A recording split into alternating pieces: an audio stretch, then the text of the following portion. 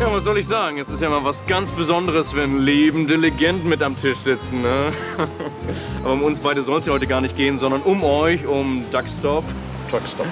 Truckstop, ja, wie auch immer. Ich will gar nicht um den heißen Brei herumreden. Wenn ihr im Norden Erfolg haben wollt, dann müsst ihr mit dieser Cowboy-Scheiße aufhören. Country geht gar nicht. No-Go.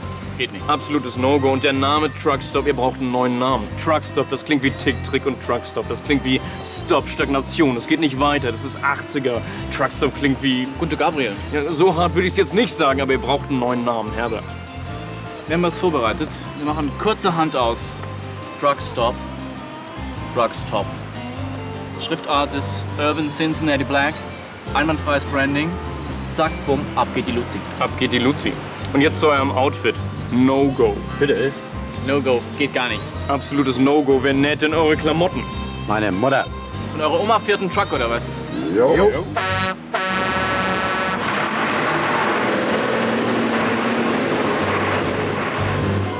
Mal kurz und gut, ihr werdet rebrandet und zwar richtig. Ihr kriegt den neuen Namen und dann werden wir euren komischen Western-Song richtig norddeutsch, niedersächsisch, aktuell modernisieren. Wir vertrauen dem Song absolut. Der Song steht für sich und deshalb haben wir eine Stripperin engagiert, Rita von Käse, die sich dazu ausziehen wird.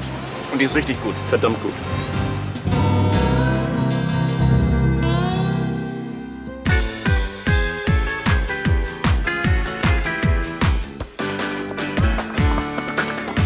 Der wilde,